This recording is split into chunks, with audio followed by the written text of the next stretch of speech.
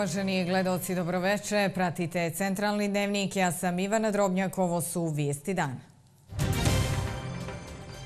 Crna Gora bilježi pozitivne trendove na tržištu rada, kazao u intervju za Novu M ministar rada i socijalnog staranja Kemal Purišić. Zaposlenost je rasla, a penzije će biti redovne i stabilne. Ministar se osvrnuo i na zahtjev sindikata za povećanje minimalne zarade.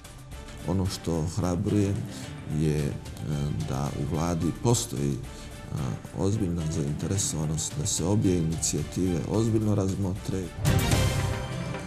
Opozicioni bojkot koji traje preko dvije godine koštao građane više od 5 miliona eura. Kako je saopšteno televiziji Nova M iz parlamenta, opozicionim političkim partijama samo u 2018. za finansiranje redovnog rada isplaćeno gotovo milion eura, a za bruto zarade 430.000. Tu više se ne radi o političkom bojkotu, nego se čisto radi o neodgovornom odnosu prema profesionalnim obavezama. Sistem elektronskog zakazivanja pregleda koji je počeo sredinom 2017. dao je dobre rezultate, kaže za novu M direktor Fonda za zdravstveno osiguranje Sead Čirgić. Pitali smo i građane jesu li zadovoljni funkcionisanjem sistema. Super i veruj mi da ne čekam, super. I za mene i za muža. Ne, ne, boga mi. Uprava Carina u prošloj godini naplatila nešto više od 779 miliona eura, što je 11% više u odnosu na godinu ranije. Zaplijenjena je i krijumčarena roba u vrijednosti od skoro 4,5 miliona eura. Sjutra umjereno do pretežno oblačno u drugom dijelu dana padavine do 13 stepeni.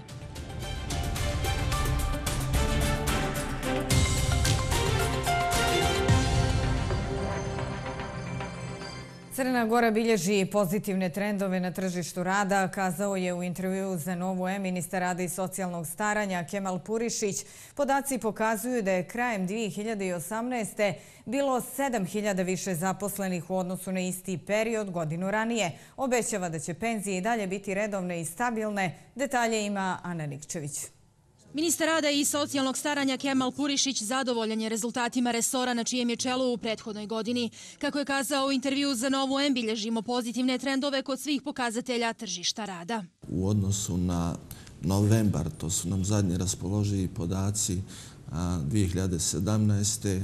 U novembru 2018. godine imamo više zaposleni za blizu 7000 osoba, što je obezbijedilo rast stope zaposlenosti od 3,8%. Ministar kaže da je sve to rezultat privrednog rasta. Očekuje da ovakav trend ostane do kraja godine, što će pozitivno uticati na ukupnu crnogorsku ekonomiju. Sve to je e, u konačnom e, smanjilo stopu nezaposlenosti u odnosu na prethodnu godinu za e, nekih 4,2%, odnosno ona je smanjena na oko 17,8% i u nominalno, ajde da kažem brojčano, to je manje za oko 9800 nezaposlenih na tržištu rada. Mogu li građani koji sada počinju da rade i uplaćuju doprinose biti sigurni da će imati penziju od države kada sa 65 godina pođu u penziju?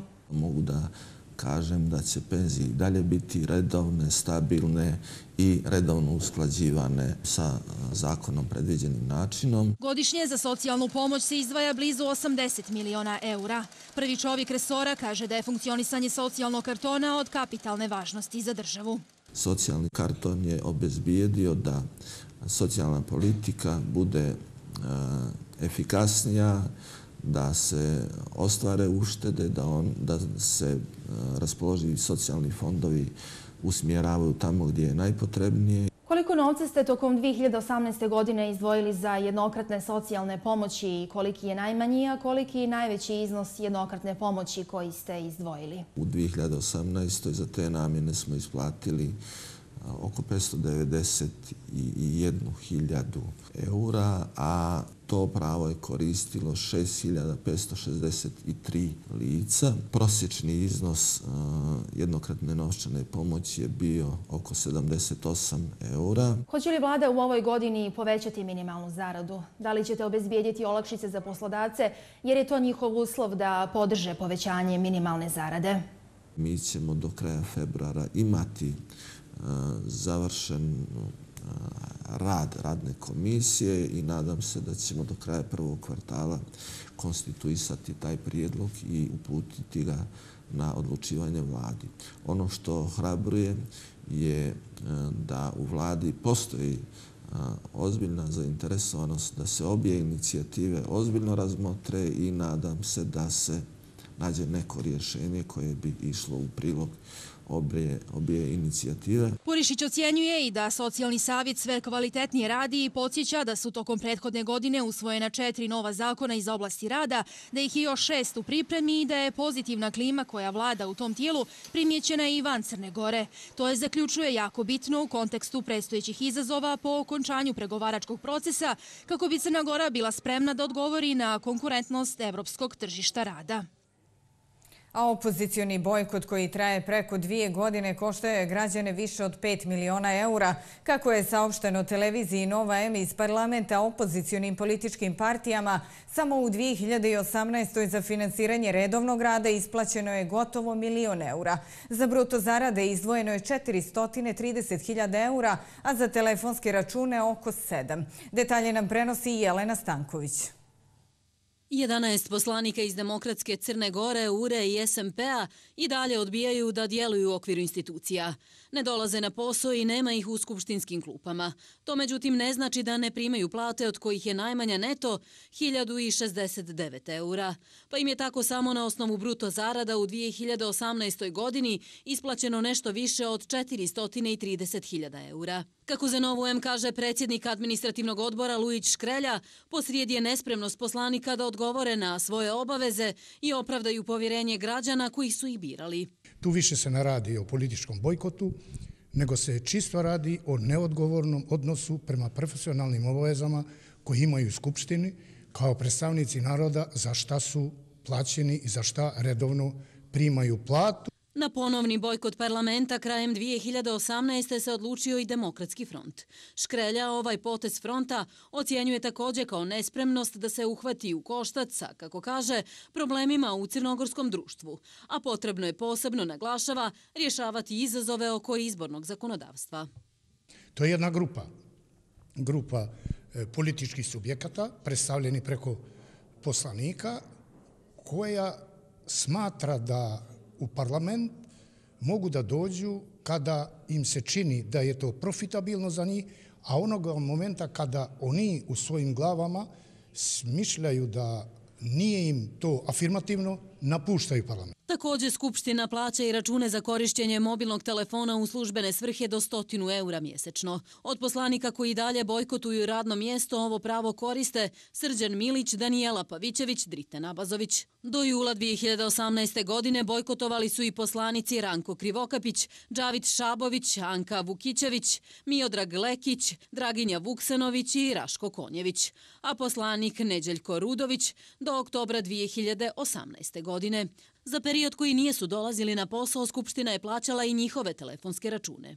Njihovi troškovi prema podacima Skupštine Crne Gore tokom 2018. godine su gotovo 6.500 eura, od čega je najviše službeni telefon koristio Dritan Abazović, koji je do novembra 2018. plaćen više od 1000 eura. Škrelja kaže da su poslanici imali i drugih zahtjeva, iako u klupe Skupštine i Skupštinskih odbora nije su planirali da dolaze.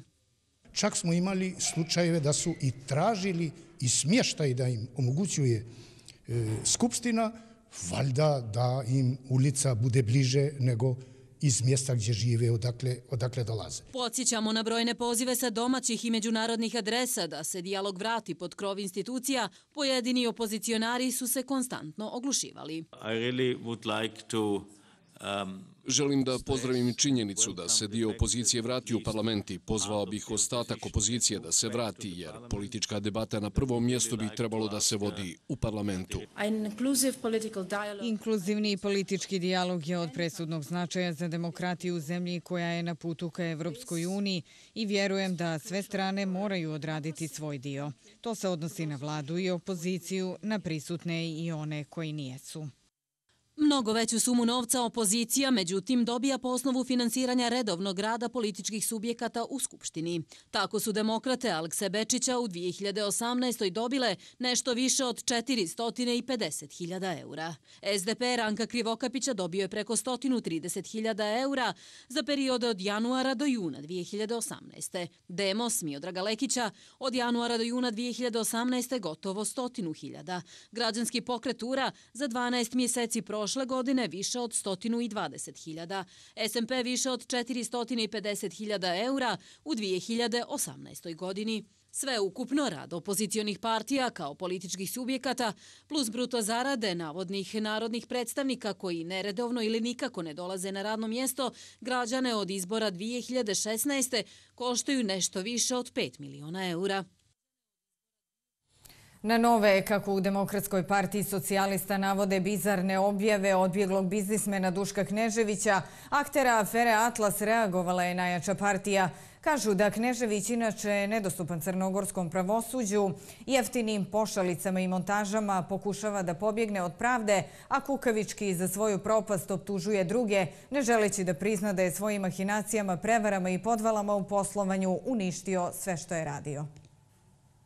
Nekadašnji biznismen nakon propasti svih poslova koje je započeo kako onih u Crnoj Gori, tako i u inostranstvu, očigledno se našao u nerješivim problemima, jeftinim pošalicama, montažama, intrigama začinjenih fantazijom ili jednostavnije rečeno izmišljotinama, Knežević pokušava da pobjegne ne samo od pravde, već i od nesporne činjenice da je sebe u ovu poziciju doveo jer se pokazalo da je neuspješan biznismen, neodgovoran poslodavac, ali i nemoralan čovjek, navodi se u saopštenju DPS-a. Kukavički je kad za svoju propast i posrnuće optužuje druge, ne želeći da prizna da je svojim mahinacijama, prevarama i podvalama u poslovanju uništio sve što je radio, a sebe sve ona lice osumnjičeno za kriminal koji se skriva i bježi. U većini svojih firmi i pored čestih upozorenja državnih organa ostavljao pustoš za sobom. Zaposleni su ostajali bez posla i isplaćenih zarada, a on je ispumpavao novac, stvarao dugove, gasio stare firme, otvarao nove koje su isto tako propadale, uzimao kredite koje nije mogao da vrati. Tako su, kažu u saopštenju, prošli fabrika vode Lipovo koja je proizvodila Aquamonte vodu, kompleks Meljine, radiotelevizija Atlas, IBM i Atlas banka.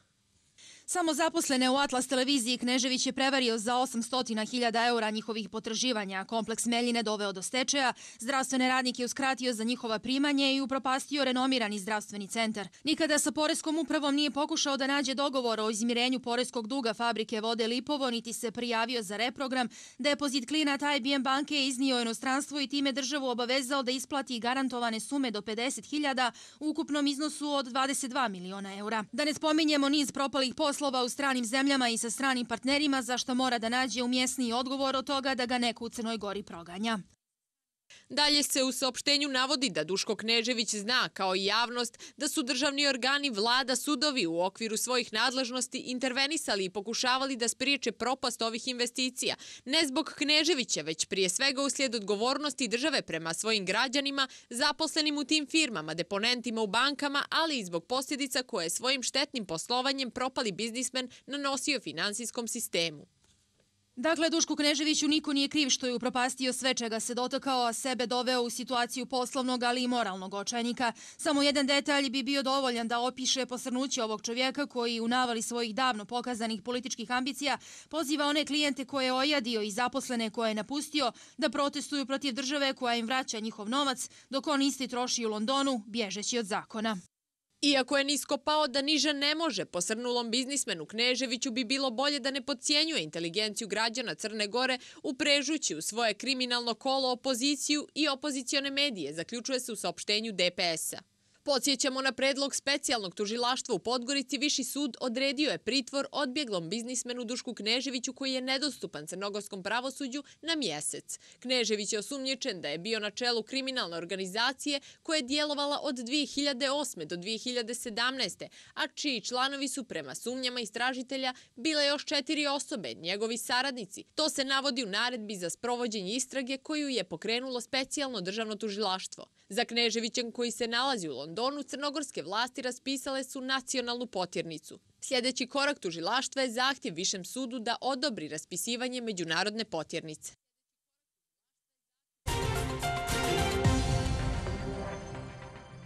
Predsjednik Albanije Ilir Meta boravit će naredna dva dana u zvaničnoj posjeti Crnoj Gori, a uz najviše državne počasti dočekat će ga predsjednik Milo Đukanović. Kako je saopšteno iz kabineta predsjednika, Đukanović i Meta će nakon susreta i zvaničnog sastanka uz prisustvo delegacije dati izjave za javnost. Meta će se sastati i sa predsjednikom Skupštine Ivanom Brajovićem i premijerom Duškom Markovićem. Nakon političkih ostale teme, sistem elektronskog zakazivanja pregleda koji je počeo sredinom 2017. dao je dobre rezultate. A ovim putem oko 60.000 građana zakazalo je pregled u crnogorskim domovima zdravlja. Kaže za novu M direktor Fonda za zdravstveno osiguranje Sead Čirgić. Pitali smo i građane da li su zadovoljni kako funkcioniše ovaj sistem. Fond za zdravstveno osiguranje je u proteklih 15 mjeseci uspio da obezbijedi elektronske servise za potrebe građana, razvijajući platformu e-zdravlja. Jedan od servisa je i elektronsko zakazivanje pregleda. Kako kaže za novu M direktor Fonda za zdravstveno osiguranje Sead Čirgić, višestruki su benefiti od korišćenja ovog servisa. Naši podaci govore da je eh, do sada otprilike oko 60.000 naših građana zakazalo eh, pregled kod ljekara ovim putem i ono što je, da kažem, zadovoljavajuća cifra jeste da smo posjeta portalu do sada imali oko 530.000. Čirgić dodaje da elektronsko zakazivanje ne eliminiše prethodno, to jest klasično zakazivanje. Svako ko hoće može na ovaj način, ali nije i obavezno da se na ovaj način zakazuju pregledi. Znači, omogućava samo bržu i dostupniju zdravstvenu zaštitu. Čirgić se osvrnuo i na jedinstvene elektronske knjižice kojom su objedinjene lična karta, vozačka dozvola i zdravstvena knjižica. Fond za zdravstveno osiguranje je, kaže, preduzeo sve mjere za realizaciju tog projekta. Informacije koje imam, koje smo dobili od MUPA, da se planira već početkom ove godine se krene u realizaciju tog projekta gdje će prvobitno ovaj, lične karte istovremeno biti i zdravstvene knjižice. Pitali smo i građane da li koriste sistem elektronskog zakazivanja pregleda i da li su zadovoljni kako funkcioniše. Ne javljaju se nikad. Evo sad sam zvao, nema deset minuta. Super i veruj mi da ne čekam, super. I za mene i za muže. Ne, ne, boga mi. Osim što je građanima lakši ovakav vid zakazivanja pregleda i medicinskim sestrama je to olakšavajuća solucija, zaključuje Čirgić.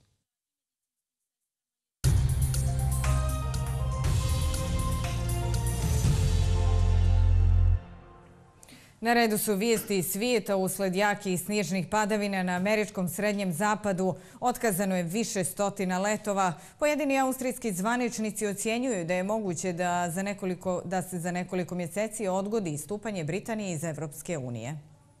Uslijed jakih snježnih padavina na američkom srednjem zapadu otkazane više stotina letova, uslovi za vožnju na putevima postali su izuzetno opasni. Upozorenje na oluju nadležne su izdali za sjeveroistog zemlje, a najveća količina snijega očekuje se u Vermontu, New Hampshire i državi Maine. Američko-ruski ugovor o raketima srednjeg dometa definitivno propada što Evropu vraća u hladni rat uz rizik da postane bojište, ocjenjeno u komentaru Deutsche Welle. Njemački šef diplomatije Haik Masse bezuspješno pokušava da spase ono što se više spasiti ne može. Ugovor je mrtav, upozorije cijelu Evropu Kristijan Tripe, komentator najvećeg njemačkog medija. Austrijski kancelar Sebastian Kurz smatra da je moguće da se za nekoliko mjeseci odgodi istupanje Britanije iz Europske unije. Ako London predloži dobar plan, moguće je pomjeranje datuma na par mjeseci, pojasnuje Kurz Bečkom dnevniku Esterreich. U vezi sa najavljenim planom B premijerke May, Kurz se nada da će to konačno pojasniti stvari oko daljih britanskih namjera. Predsjednik Donald Trump ponudio je kompromis za okončanje blokade federalne vlade koja traje više od četiri sedmice, ali su demokrate to odbacili ocjenjujući da u predlogu nema ničega novog. Trump je ponudio produženje zaštite za mlade koji su u Ameriku došli ilegalno kao djece pod uslovom da mu se odobri 5,7 milijardi dolara za izgradnju Meksičkog zida. Najmanje 22 osobe su poginule, a 37 ih je povređeno u čajnom sudaru dva autobusa u Boliviji. Nadležni se plaše da će broj žrtava rasti. Smrtnanosne saobraćajke uobičajene su u Boliviji jer uski putevi ugaju duš planinskih vijenaca i pored litica. Ponovo domaće teme. Agencija za elektronske medije vrši monitoring programskih sadržaja svih emitera iz Crne Gore, kao i monitoring programskih sadržaja televizije Pink i televizije Happy. Piše u saopštenju AM-a dostavljeno medijima povodom poziva ministra kulture Aleksandra Bogdanovića da reaguje zbog negativne kampanje ove dvije televizije protiv Crne Gore. Agencija, kako kažu, već formira predmet. Objašnjavaju i koja je procedura ukoliko se kršenje utvrdi, bilo da je posrijedi zemlja Evropa Evropske unije ili ne.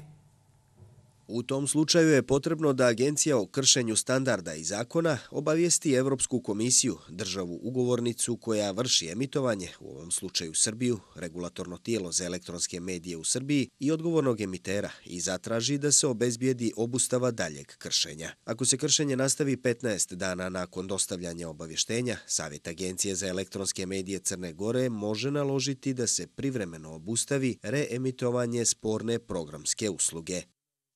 Jedna ekonomska tema. Uprava Carina je u prošloj godini naplatila nešto više od 779 miliona eura, što je 11% više u odnosu na 2017. Provjerili smo i koliko je zaplinjeno robe u prošloj godini, ali i šta se najviše pokušava prošvercovati.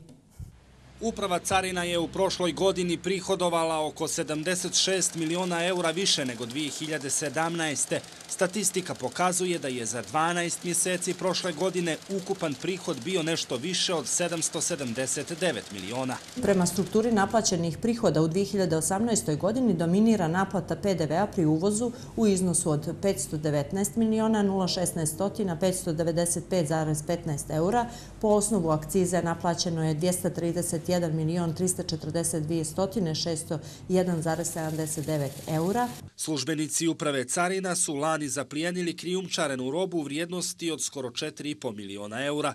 Najviše su se švercovali akcizni proizvodi, odjevni predmeti, mobilni telefoni i oprema, autodijelovi i nakit. Po osnovu navedenih zaplena izdato je ukupno 395 prekršajnih naloga i izrečene novčane kazne u iznosu od 175.500 eura. Vuković kaže i da je tokom prošle godine najviše robe zaplijenjeno na graničnim prelazima. Najveći broj prekršaja otkriven je na centralnoj ispostavi Dobrakovo, centralnoj ispostavi e, Dračenovac, e, Kula, Božaj e, i slobodna zona Luka Bar. Iz uprave Carina poručuju da će im prioriteti u ovoj godini biti usklađivanje zakonodavstva sa pravnom tekovinom Evropske unije i razvoj informacijonih sistema, ali i olakšavanje međunarodne trgovine.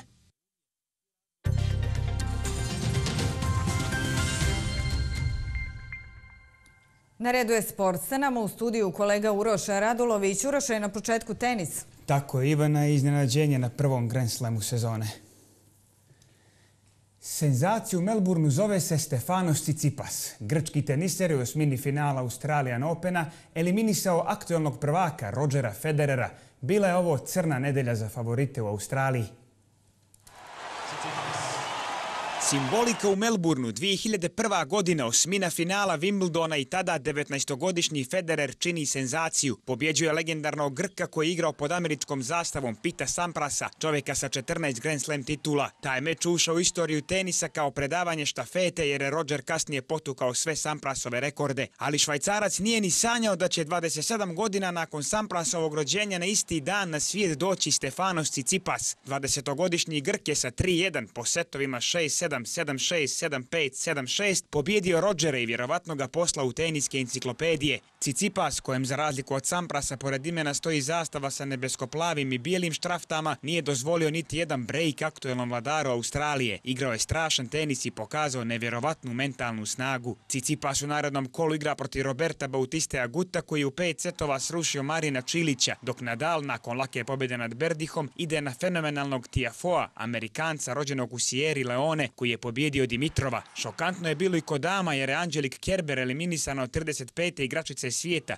Daniel Rose Collins, a Ashley Barty izbacila je Mariju Šarapovu. Košarka. Mornar je sinoć prokockao triumf protiv Mege Bemak sa 16. kolo ABA lige. Sjutra zatvaraju budućnosti Cedevita utakmicom koja počinje u 18 sati. Crnogorski šampion izgubio je dobijen meč. Mornar je imao 14 pojena prednosti nad Megom Bemax, ali domaćin je u uzbudljivoj završnici pobjedio 82-80. Ovo je odlična utakmica se pokazuje nekim mlađim igračima koji treba da uče košarku kako košarka ne treba da se igra. U pobjedničkom timu istakao se Edi Natić sa 20 koševa, a sa druge strane Strahinja Mićević ubacio je 18. Mornar je ostao na 6 triumfa, dok ih Mega ima 9.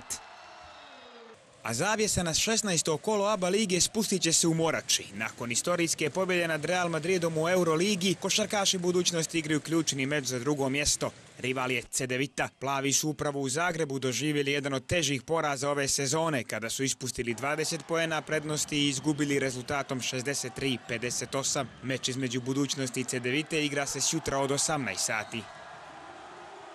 Futbal, skijanje, boks. Pogledajmo i ostale informacije iz svijeta sporta. Manchester City juri ekipu Liverpoola. Šampion Premier Lige lako je savladao Huddersfield 3-0 golovima Danila Sterlinga i Sanea. Građani su na četiri boda od lidera dok su terijeri na samom dnu. Mani Pacquiao odbranio je titulu VBA prvaka u okršaju sa Adrianom Bronerom. Filipinac u Las Vegasu savladao 11 godina mlađeg Amerikanca jednoglasnom odlukom sudija. Meč je gledao i Floyd Mayweather koji je 2015. godine pobjedio Filipinca, a Pacquiao je najavio mogućnost novog duela. Na legendarnom Lauberhornu najbrže je bio Clement Noel. 21-godišnji Francuz je tako stigao do prve pobjede u karijeri na svjetskom kupu, a iza sebe je ostavio Manuela Fellera i ubjedljivog lidera generalnog plasmana i aktualnog prvaka Marcela Hiršera. U Cortini Diampeco do 11. triumfa u sezoni stigla je Mikaela Šifrin. Neprikosnovena je u ukupnom poredku sa 1494 boda, a danas su je u leđa gledali Tina Vajrater i Tamara Tipler. Toliko o sportu za večeras.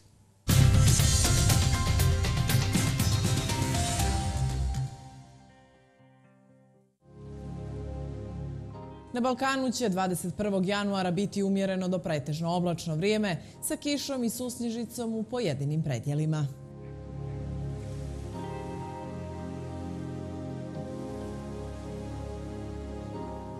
U Crnoj Gori si jutra umjereno do pretežno oblačno. Uglavnom u drugom dijelu dana i tokom noći se očekuju padavine, kiša, a prvenstveno u planinskim oblastima su snježica i snijeg. Vjetar uglavnom slab do umjeren promjenjivog smjera. Jutarnja temperatura vazduha od minus 5 do 6, najviša dnevna od 1 do 13 stepeni.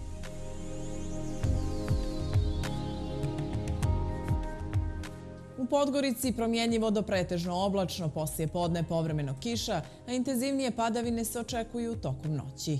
Vjetar slab do umjeren i promjenjiv. Jutarnja temperatura vazduha oko 3, najviša dnevna do 10 stepeni. U Crnoj Gori je jutros do 7 sati najviše snijega izmjereno na Žabljaku 66 cm, u Kolašinu 43, Rožajama 40, u Plavu 25 cm. U Šavniku je izmjereno 24 cm snijega, u Pljevljima 23, Bijelom polju 17, Beranama 16, u Andrijevici 14 cm, dok je u Nikšiću 9, u Plužinama 7 cm snijega. Na skijalištu Javorovača utabanog snijega ima oko 80 cm, dok na skijalištu Kolašin 1450 ima oko 70 cm snijega.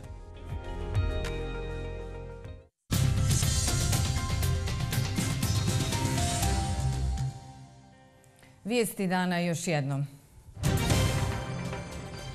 Crna Gora bilježi pozitivne trendove na tržištu rada, kazao u intervju za Novu M ministar rada i socijalnog staranja Kemal Purišić. Zaposlenost je rasla, a penzije će biti redovne i stabilne. Ministar se osvrnuo i na zahtjev sindikata za povećanje minimalne zarade. Ono što hrabruje je e, da u vladi postoji e, ozbiljna zainteresovanost da se obje inicijative ozbiljno razmotre.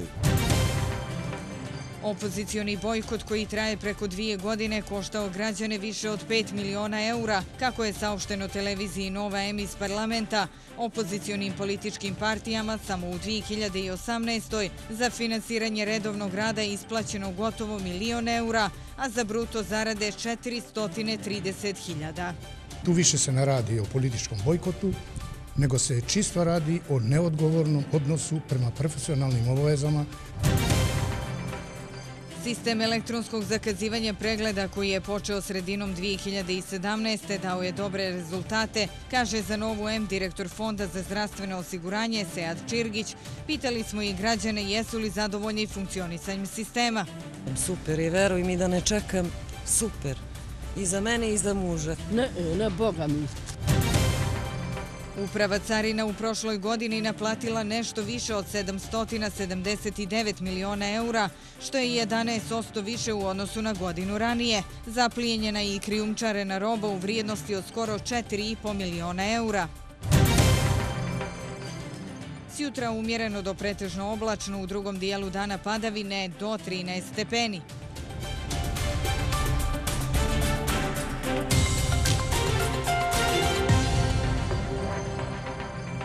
Pratili ste centralni dnevnik. Slijedi turska serija Anđeli, potom i domaća serija Ubice mog oca. Hvala na pažnji.